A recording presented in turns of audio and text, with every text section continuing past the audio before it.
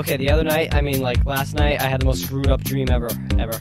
I mean, it was like a freaking acid trip. Not that I uh, advocate uh, drugs because drugs are bad and stuff. Anyway, my dream, my dream was like I, um, I was in a warehouse. There were all these guys in Santa suits doing this sort of big dance thing, and they couldn't see me or something. I don't know. And then one of the Santa guys was like a really fat guy, and he didn't, and he didn't want to do the dance, and he uh, was the only one who could see me.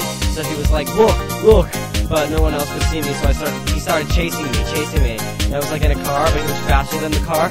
And suddenly he jumped out in front of me, in front of the car, and he started screaming. Only it was like a Bigfoot scream, and it sounded so creepy coming from a uh, Santa guy. In the dream, I was like, ah, and I hit the brakes. Only the uh, brake pedal was broken, and it was actually a gas pedal. So I plowed over the Santa guy, and he went on, he went under the front tires, and then under the back tires. And then for some reason, when he hit the back tires, the front of the car flew up, was suddenly in a flying car. It was like a hovercraft. And then there was this big part that I can't really remember, but I was in a uh, in the hovercraft thing, and I was like uh, looking for this house. But when I finally got to the house, like I, there was a button on the door, and I pressed the button, and the door opened, and a freaking scary old dead guy uh, popped out the door.